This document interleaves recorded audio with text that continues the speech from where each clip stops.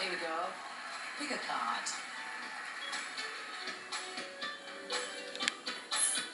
Judge number seven, Tara Lipinski. Can we please have your question? Yes. Okay, my question is what can be done about the lack of jobs for young people starting their careers around the world?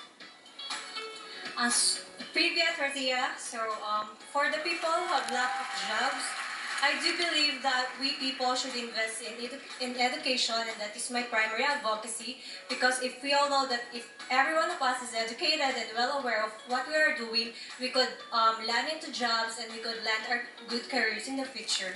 So education is primary source, and it's a ticket for a better future. Thank you. Philippines, thanks so much. I think you have some fans here, Philippines. All right, finally, let's invite over Venezuela. Please come and join us.